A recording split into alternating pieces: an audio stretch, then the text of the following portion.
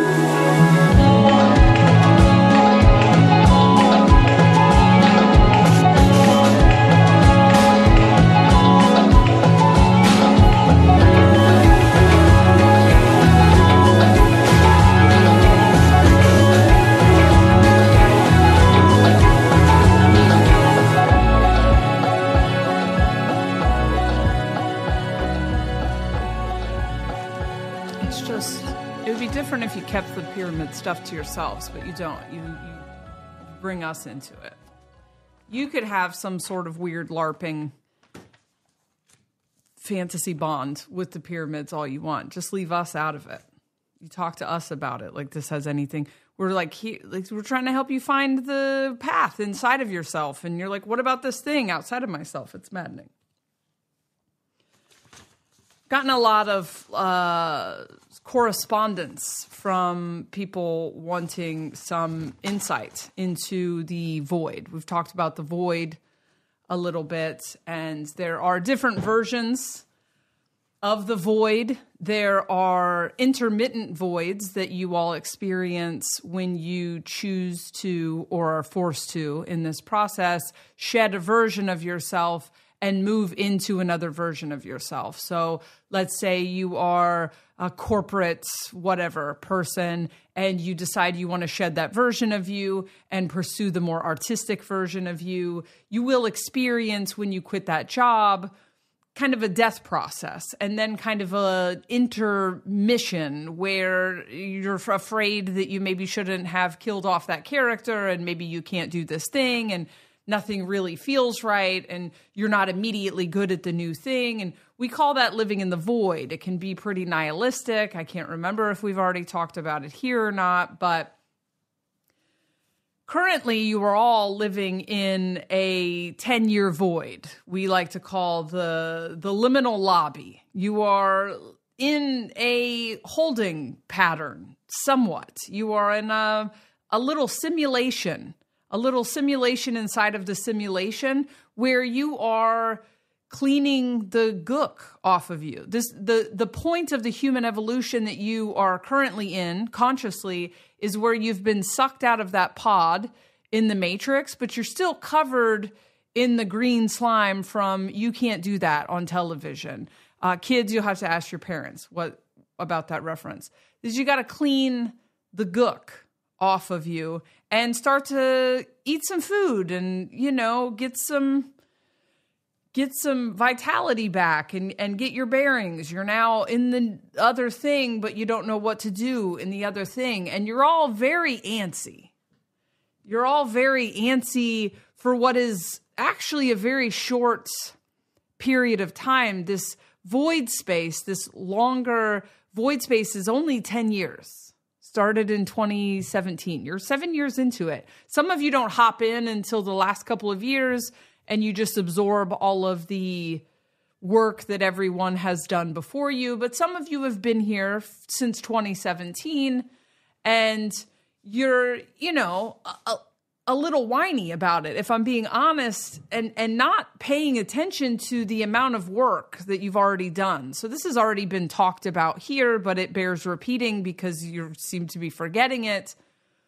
You have been deeply immersed in this matrix for tens of thousands of years. The last time that you came up for air and i'm defining coming up for air as remembering who you are and tuning into all of your points of awareness. If you don't know what points of awareness is, go back and listen to the last transmission, 5D non cult. You have been completely cut off. You have been playing a game and believing that you are the avatar in the game while rapid fire reincarnating at an insane pace for tens of thousands of years. And it takes a minute to recenter, to remember who you are, to get your bearings, to be able to move forward. And you're all already somehow complaining that you think you're not doing anything. You think you're not doing anything. And we think the problem with this is that you are defining quote unquote doing something with the conditioning of the last game you played. So we're going to explain some of the things that you are expected to be handling, to use the language of your last game, things that you are expected to be working on in the liminal lobby. And you tell me if you're not doing anything. The first item in the liminal lobby is to decondition. So this is uh, where your avatar has taken on the rules and the ideas and the concepts of the last game that you were playing and taken them into your identity and bought into the premise of the reality that you were living in. So, this is where maybe you thought life was about work. Or this is where you, you took on the idea that you're not doing enough. Or this is where you took on the idea that everything has to be rational and make sense. Or you took on the idea that you need physical proof for everything and that everything needs to be quantified through seeing, touching, tasting. Any of these sort of things. So you're you're first not first as in in order, but one of the things that you should be doing is deconditioning ideas that are not generated within you or don't resonate with your body. So you know what conditioning is because you don't want to do it, but you're doing it cuz quote unquote that's the way it's done. That takes years. That takes years. Okay? Number 2 is you are deconstructing and then reconstructing. So deconstructing as in constructs. You personally have absorbed and internalized a lot of constructs from the former game, and you personally are releasing them. At the same time, your worldview is reframing for a new game and a new set of constructs. This is a, a much shorter aspect of the reality like the the 25,000 year cycle you're coming out of is about human evolution. The constructs are more about the rules of the immediate game you're about to go into. They don't matter, but they are good to know. So, constructs of the previous reality, this is available. A bigger breakdown of this is available on the Patreon for free if you want to sign up for free and get it there. But here's Cliff Notes. The previous constructs, constructs also parameters rules of the game. Let's say you go in to play a video game and it's like this is the expectations of the game. You're supposed to get these coins or, you know, chase these rabbits around. I don't know. I obviously don't play a lot of video games. This is just the rules. The previous rules of the previous game that you have probably experienced in your lifetime had to do with focus, had to do with skills, had to do with homogeny, had to do with being accepted by others, external validation, external approval, external enemies. It had to do with work. It had to do with building a family. These were things that people just felt like this is what life is about. That's because it was a construct of the game. This is what your soul was experimenting with. And then they were conditioned, meaning that all of their beliefs ran through this filter. So you are releasing those beliefs and you are also allowing the reality to start to take a different shape that it's already slated to take. So the new constructs, I'm not going to get into all of them, think personal expression, individuality, not to be mistaken with the villainized individualism, individuality, expressing yourself, bringing your own spark. Don't be corn. You know, we already talked about it. Reconstructing your body and your desires most likely already know because you're craving it. You're craving something new. You want to hear new music. You want to see new art. You want to show up in the world in a different way. You don't want to work your life away. You want your family to maybe, this isn't for everybody, but you want to see relationships are about intimacy. They're not about commitment for commitment's sake. They are about being known. You want things to be deeper you don't want to go to crazy, overwhelming social events, maybe. You want to have deep one on ones with people. If you just really follow what your body and what your desires are really kind of leading you to, you're being led to the new constructs. But then the old constructs show up and you go, oh, there's something wrong with me because I'm not a good worker anymore. Oh, there's something wrong with me because I want my family to look different. So this is a process that takes years to figure out what you, the individual, is meant to bring to this thing. Healing. Now, healing is not meant to be put onto a hamster wheel, as we talked about in Hot Alien Summer. You're not meant to turn healing into some sort of weird obligation, nightmare treadmill that you never get off of, but healing should be naturally happening.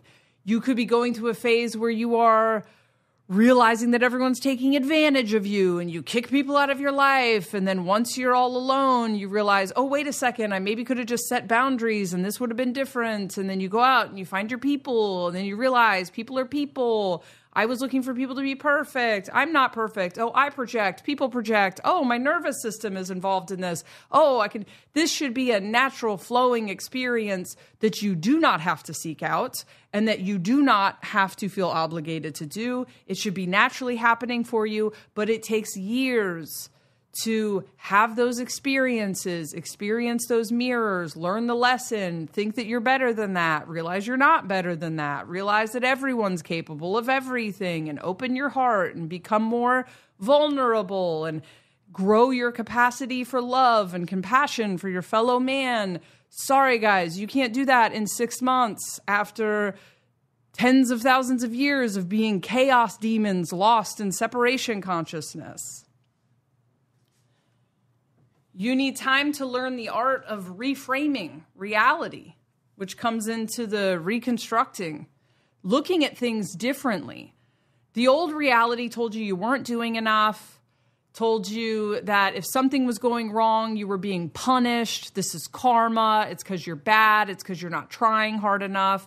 The new reality is when I want to experience something, I trust that it will come to me. And when it comes to me, I trust that it's in the right time. If I'm experiencing limitation, I don't tell myself that it's because I'm not thinking positively enough. I take the limitation in and I th- experience it as a learning opportunity.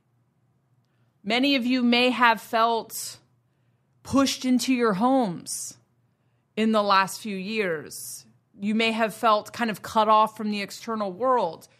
The old reality would have you experiencing that as like, I'm missing everything, or I'm doing something wrong, or I'm not trying hard enough. The new reality says, no, we're going inward. And the reality is guiding me inward. So I'm going to take advantage of that opportunity. Getting to know yourself, getting to know what you want. Many of you are describing the void as loneliness and being alone. And for many of you, you are alone however you are spending your 10 years or whatever portion of 10 years in the liminal lobby is how your soul wanted to experience it. Just like your soul decided how it wanted to wake up. Some of you were like, I would like to wake up gently. I would like to be born to awake parents and integrate this over my lifetime. Some of you were like, I would like to drop acid and then get put in the mental institution the next day when I stood up naked on my desk and, you know, screamed that Alex Jones was right. Whatever it is, whatever your path to awakening, very similar, your higher self. And your higher self just means the part of you that remembers everything about you. There's nothing super woo or mystical about that. It's just there's a part of you that you know, is sitting somewhere in a room with some VR goggles on and, and knows everything that's up and thinks all the things you're really upset about are funny. That version of you chose the best way for you to spend your 10 ish years in the liminal lobby. You don't have to fight it. This is liminal. Liminal, it's just an in between. You're just processing, debriefing, regrouping so that you can go out and play the new game as a consciously aware version of yourself. And you don't have to fight it. And you don't have to worry that you're missing something. You're going to probably live long. The people who live through this are going to live longer. You don't you don't have to be like, "Oh, I spent my 30s and then oh, I spent my 40s." Don't worry. You're it's fine. There's nothing going on out there anyway. I it's it's it's a mess out there cuz it's eh, the whole thing the entire thing is in this liminal lobby. Even those that aren't experiencing healing, they are. It just doesn't look the same for everybody. Don't worry about it. We're going to have time to do the new thing. There's this kind of revving at the starting line feeling that people have. I want to do something. I want to I do all these things, but I can't. And it's because it's not time. The new thing is very trusting and flow. Let life, it's receptive. Let life reveal things to you, let life bring things to you. But you got to get your shit together first. It's a completely different game. You have to learn how to work the tech of your body. Your body is going to run on a different type of fuel. It's going to need a whole different set of things to operate all of the features that you weren't using in the old game. Your diet's probably going to have to change. That's not pressure. You don't have to apply that weird shit from your old reality of I'm not doing it right. This will come to you when it's time. Your relationship with sleep, your relationship with food, your relationship with the sun, your relationship with the earth, it's all going to shift. When it's time, it will come to you synchronistically. You don't have to make it fucking weird. When it's time, and this might come through some sort of sickness.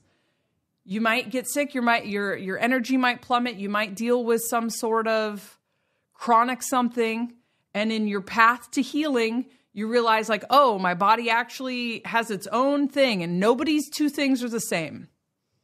So don't even when you figure it out feel like you need to evangelize to everybody that everybody needs to dunk in a vat of cold water or fast or whatever. And that's what you're figuring out in the liminal lobby. And figuring out is even too aggressive of a word. That's what's coming to you in the liminal lobby. That's what the algorithm is bringing to you. You can't fuck this process up. You can't fuck it up. It just is. You're just being transitioned to a new way of being and it takes a minute. Learning how your body operates, getting to know yourself, this is all part of the process. Your reality is also never going back to what it was before. So, if what you're looking for is my life was this kind of busy, secure, you know, false sense of security, defined thing that I ran around like a chicken with my head cut off and I did all these things and I was being externally validated or I was chasing some sort of externalized happiness. And all that's happened so far to me in the liminal lobby is I've realized time and time again that there is no happiness outside of myself. You're never going back to that. That's over. That's done. That's why everything feels like the credits are rolling. You are being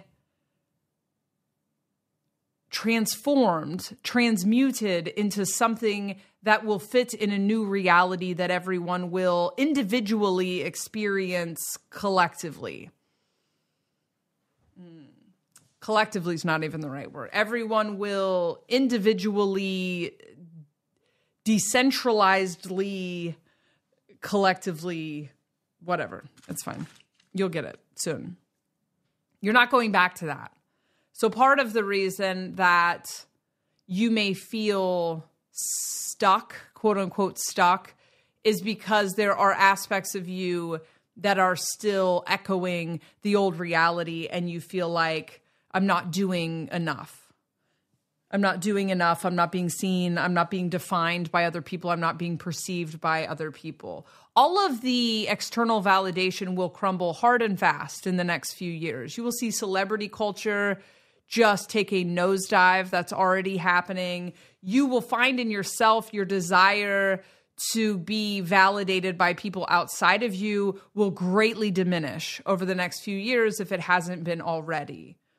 The thing that we are going into is about personal expression for personal expression's sake, showing up as yourself with your gifts, and that does ultimately serve the collective, but serving the collective will not be about getting pats on the back for being good.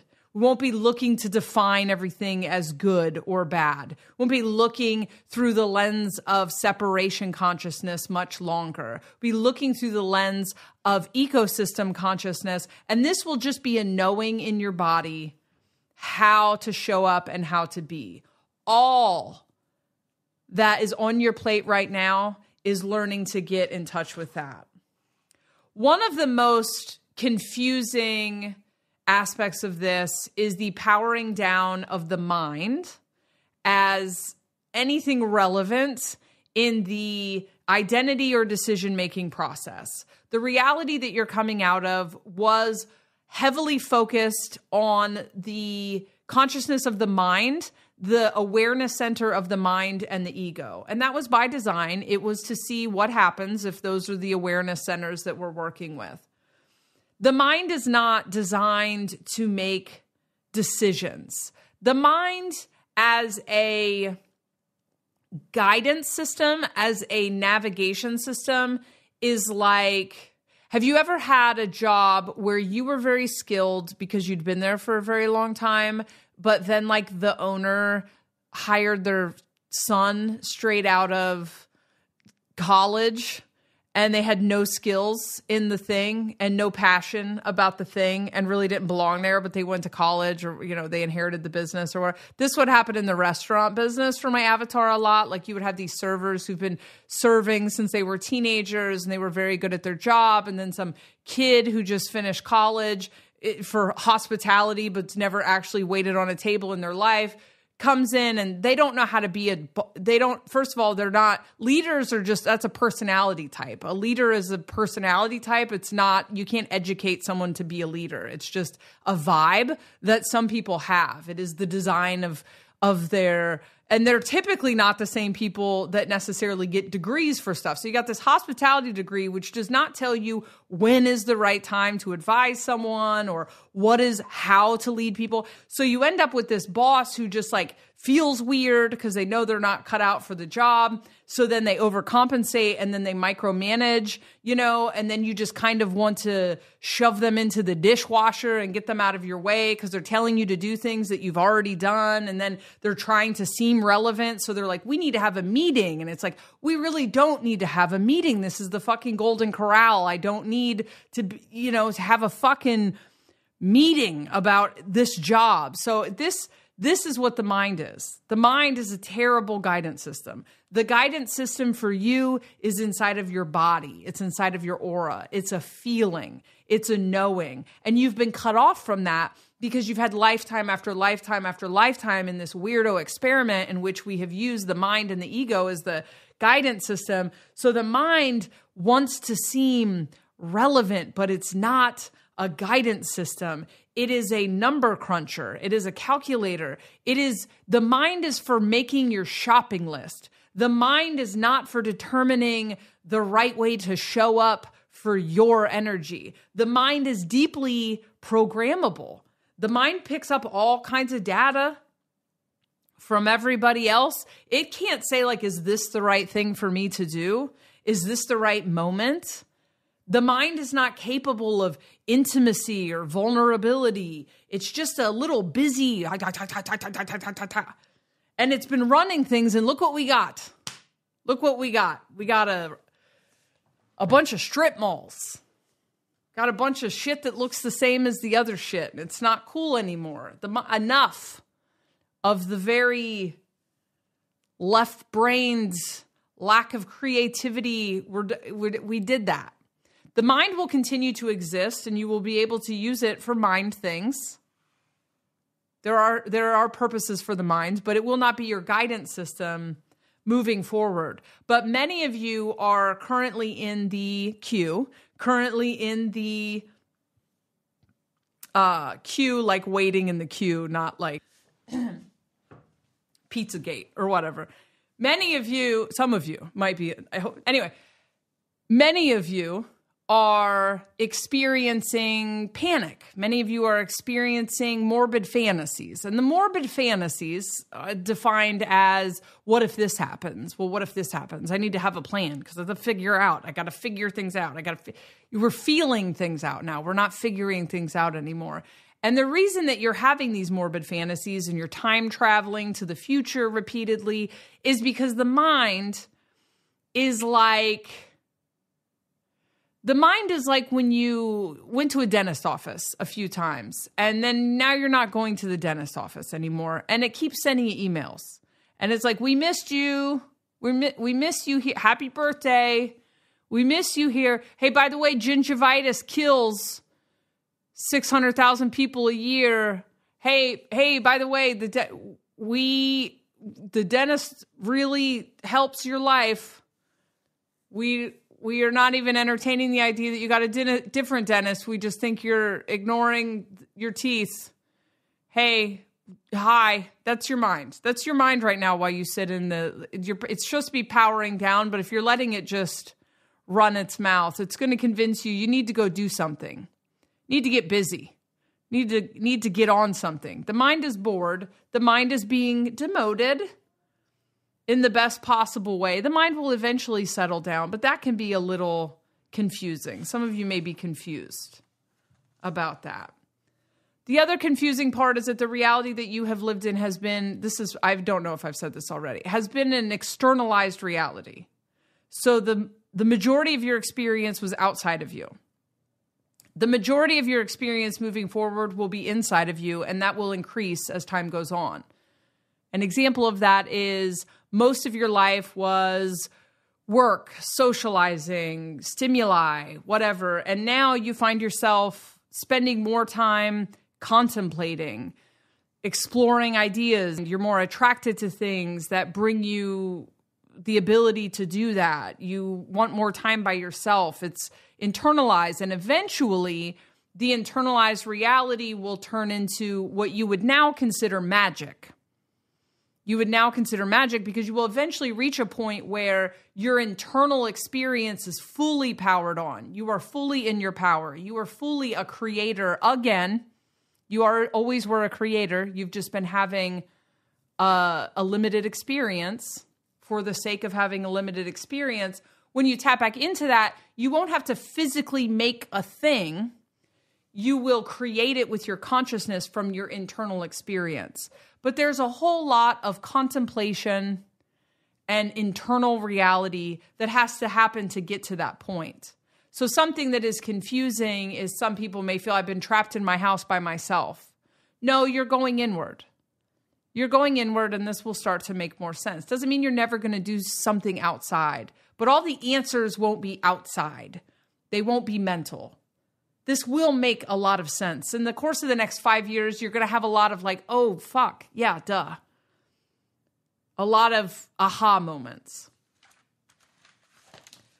2024 will be the beginning of birth energy for some of you, not all of you. And this is not a contest and this is not a hierarchy. There was hierarchies in the old reality, there's not hierarchies in this. There is something that you would maybe frame as a hierarchy because you don't understand it, but there is just you are the spark of energy in the big spinning ball that is you and you don't have you're not competing with the other sparks of energy and no one is the boss of you and no one tells you how your energy should work. So don't worry about it. If some people are in birth energy and you are not in birth energy, you'll get there. You are doing this at the exact schedule you wanted to do it. Many of you will finally feel like you are able to move across the starting line creatively. You will begin to make art that is unlike any art. New mediums will be created, new genres will be created. People will begin to have fun with the new tech. Music will begin to sound different. We are beginning to move into birth energy. Does it mean there isn't still death energy? Just imagine that there is like a hill of the 10 years. We are at the top of the hill right now. Things will get wacky I'm saying that, and I'm trying to say that in the nicest way possible. The reality will continue to get bananas for a bit, but many of you as individuals will begin to birth forth your early creative energy. And you will find that you care less and less about other people's consumption of it.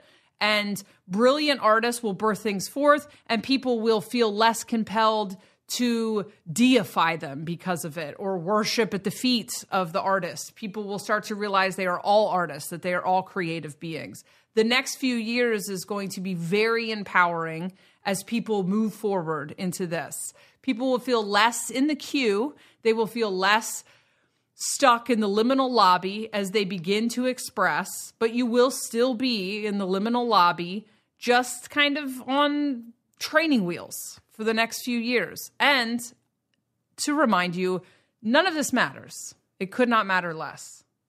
There are no stakes. This is not a race. This is just fucking around for infinity. That's it, I guess. Anyway, there are other podcasts that are not from an alien, but if you want a deeper dive on this, there i'm just putting stuff on patreon. There's a free patreon where i've just done a couple free episodes and i post some thoughts and some downloads and stuff. Five dollar tier there's years worth of podcasts on there and two more podcasts every month. Ten dollar tier is a bunch of other shit, live streams and stuff. But at, at the minimum, I recommend the free tier just because it's an easy place for me to put stuff and kind of have this quiet community that I feel comfortable with right now. We'll see what happens in 2024. I too feel like I'm leaving the starting line. The opening song and the closing song are both uh, from Suitnop, spelled S U I T N O P. That's Pontius spelled backwards because it's Mark Pontius's music. The opening song is called Five Windows, and that is available on Spotify. Will be available on other platforms soon. The closing song is called Hinterland, and that will be released on February 4th as part of a full album. And you can, I don't know, go follow on Spotify or something if you want to get that. I'm sure I'll talk about it here. I sometimes do sessions. I don't know. I don't currently have them up on my website. I might put them back on my website soon. If you really feel like you need one, you can send me an email and I will send you a link. I believe that's it.